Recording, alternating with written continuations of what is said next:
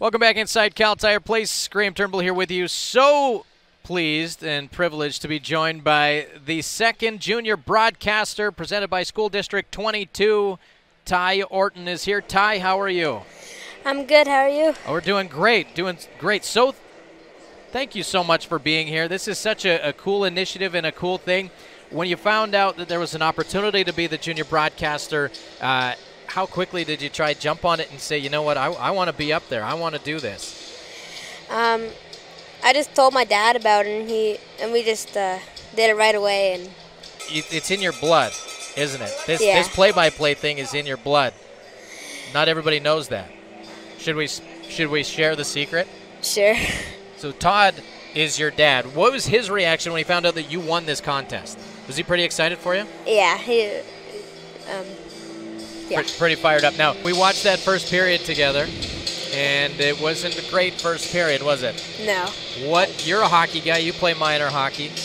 What do what do they need to do here? What what what's going to get them moving?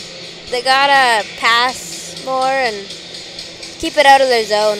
Yep, I, I agree 100%. Look pretty good. Couple of good scoring chances in the, in their zone, right?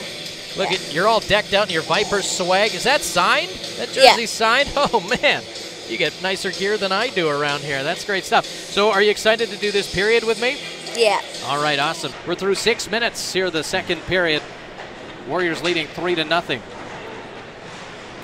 We've Let's got hope. Let's hope they can get one on the board this period. the Vipers now get charged for icing. So, Todd, what does it mean to you to be able to share the booth? I know you got out of the booth because you know you had a young family and they're starting to grow, and now you get to share some time here. Yeah, interesting. It's amazing how life uh, comes all the way around sometimes. I mean, the guy sitting next to you on your left was probably the main reason why I stopped calling games uh, between him and his brother and wanting to spend some more family time. And fortunate back then to give it, get offered a position within the organization that made sense for me and the family. So, now this is uh, this is real special for me, and I'm sure it's real special for him as well. But you know, you get back up here and you almost miss calling games. So don't worry, the job's safe for now. Okay, good. I'll take that.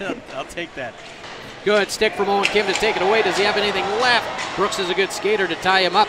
Beebe comes in. It's knocks it through. Boy, a couple of bodies collided in front of the net. No arms go up, and now the Warriors will get charged for an icing call. But Todd, you've called over 1,200 games in your career. You know no games are ever over. never over till it's over. Uh, you talk about comebacks and, and different games, and you know there's a long list of, of memorable ones for sure. So you know it looks to me like now the Vipers are starting to string something together here, as you said, a couple of more sustained shifts in the offensive zone, and uh, can definitely definitely change the tide here a little bit. Do you throw body checks yet, Ty? Are you in a level to throw body checks? Um, Legally, throw body checks? Are you allowed to? I'm not allowed to, but uh, Try and sneak the odd one in. Yeah, the radio audience can't tell, but he's got a pretty coy smile on his face right now. Uh, his Usually coaches would love that, I think. Usually the refs don't call them. So there you go. Puck comes across to the blue line. Hilditch holds it in. Farrell left wing. Wrist shot coming, deflected and stopped by David, Oh. and then he'll have to reach out for that one. oh, the net came off. Ty, were you here on Saturday? Yeah. How, how exciting was that?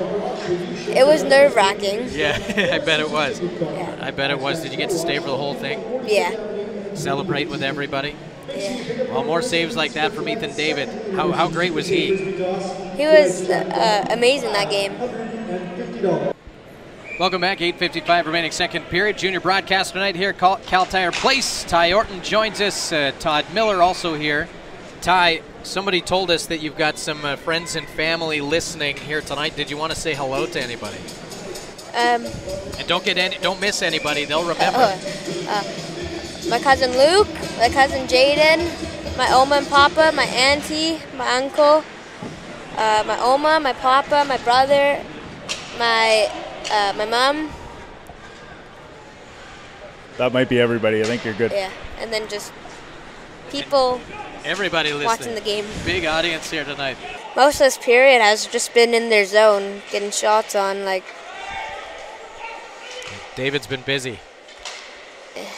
Junior broadcaster night for School District 22. We've got Ty Orton here. What's your favorite class in school? um, I like PE, if you consider that as a class. Well, you have to learn how to be physical, right? Yeah. I, I'd count that for sure. What's your second favorite? Um, I like Uh, careers. Okay. Because we get to on Friday we get like we have like a school fair and anybody can come. If you guys want to come, BX school, nine nine thirty to two. There you go. It's more than hundred stands there. Really? Yeah. Huh. Well, there you go. Ty, did you have some fun? Yeah, that was Did- fun. Did you get to enjoy it from way up here? Yeah, Would you recommend your friends try to do this thing too? definitely. Well, we love it. That's the testimonial from junior broadcaster Ty Orton from BX Elementary, grade six. Ty, thank you so much for being here. We really appreciate it. And thank you so much for letting me do this opportunity. That's Ty Orton, our junior broadcaster. Job well done. We'll take a break, come back with your period summary.